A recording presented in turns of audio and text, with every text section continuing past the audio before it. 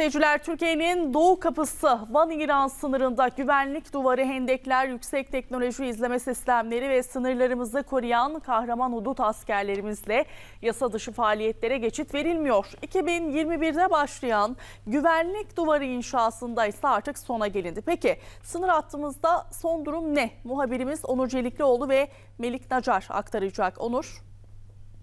Şu anda o projenin neredeyse sona yaklaştığını söyleyebiliriz. %70'lik bölümü tamamlandı. Tabii sadece güvenlik duvarı veya kazılan hendeklerle değil, buradaki askere, eee, karadan ve havadan ciddi destek sağlayan teknolojik ürünleri de göstermek istiyoruz aslında sizlere.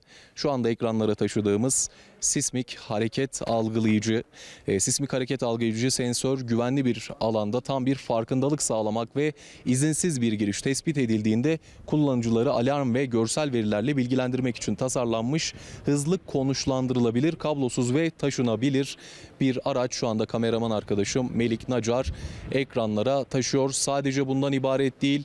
Yan tarafımıza doğru gerek buradaki askerlerin e, kullandığı mühimmatlar, e, gerek alanda kullanılan mühimmatları rahat bir şekilde görebiliyoruz. Sınırlarımızın güvenliği de aslında bunlarla sağlanıyor. Yasa dışı faaliyetler bunlarla önleniyor.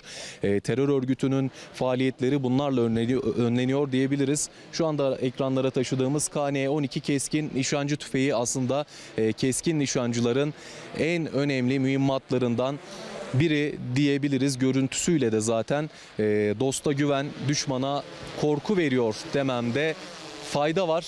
Hemen şu anda kafamızın üzerinde bir drone uçuyor. Bu dronların son teknoloji dronlar olduğunu söylememde fayda var. Kameraman arkadaşım Melik Nacar'dan rica edeceğim ekranlara taşısın.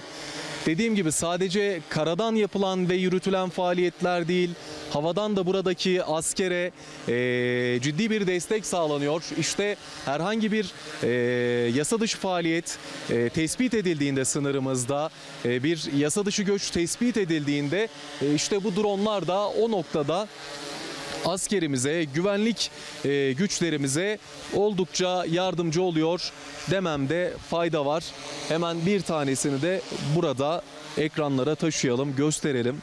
Oldukça da heybetli bir drone olduğunu söyleyebiliriz. Kamerasının oldukça gelişmiş olduğunu söyleyelim.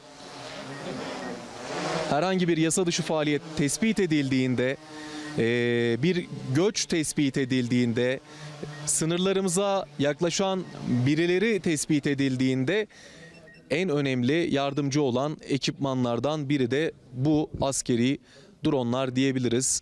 Hemen sol tarafımızda heybetiyle de aslında kendisine hayran bırakan vuran aracı görüyoruz. Mayına karşı kısmi koruma özelliğine sahip zırhlı personel taşıyıcı bir araçtır. Aslında askeri personeli eee operasyon bölgesinde farklı lokasyonlara e, götürmekte vuran aracının da yardımcı olduğunu söylememde fayda var. Hemen yan tarafındaysa işte çok yakinen bildiğiniz e, kirpi aracını görüyoruz. Kirpi 2 aracı hatta Kirpi 2 aracı da mayına karşı kısmi koruma özelliğine sahip yine zırhlı bir personel taşıyıcı aracı, birliklerin icra edeceği konvansiyonel askeri harekatın yanı sıra iç güvenlik harekatı, terörle mücadele ve barış destekleme harekatlarında da yapılacak personel taşıma faaliyetinde kullanılıyor. Bir tır büyüklüğünde diyebilirim.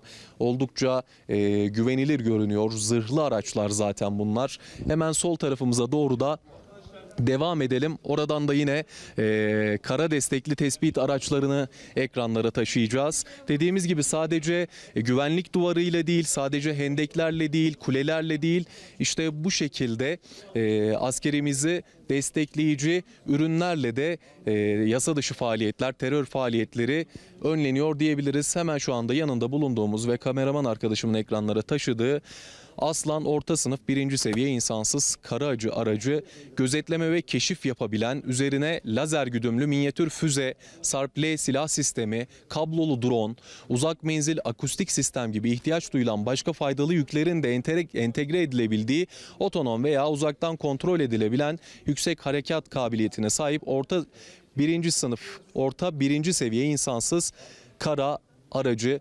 Bu da e, arama tarama faaliyetlerinde oldukça yardımcı oluyor askeri personele.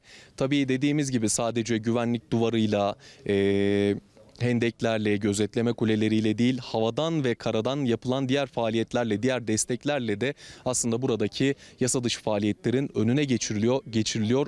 Ad- Adeta burada kuş uçurtulmuyor diyebiliriz. Ee, bu gelişmelerle birlikte sözü tekrar sizlere bırakalım.